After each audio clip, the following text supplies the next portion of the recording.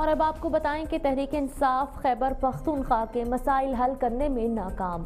خیبر پختونخوا میں پانچ لاکھ بچے غذائی قلت کا شکار ہو گئے۔ صوبے میں انتالیس، جبکہ قبائلی اضلاع میں اڑتالیس فیصد بچے متاثر ہوئے۔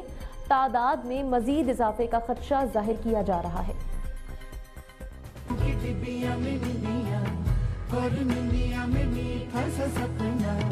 اور سپنے میں ملک میں بڑھتی مہنگائی سے غریب طبقے کے لیے دو وقت کی روٹی کا حصول بھی مشکل ہوتا جا رہا ہے۔ تاہم، دوسرے صوبوں کے برعکس خیبر پختونخوا میں غربت اور غذائی قلت میں تشویشناک حد تک اضافہ بھی دیکھنے میں آیا ہے۔ کے پی کے میں اب تک پانچ لاکھ بچے غذائی قلت کا شکار ہو چکے ہیں۔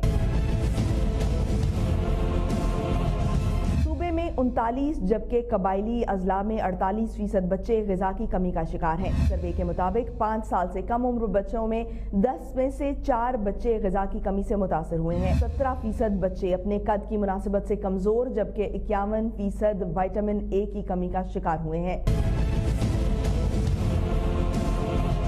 شہریوں نے غربت اور معاشی مسائل کو بھی بنیادی وجہ قرار دے دیا۔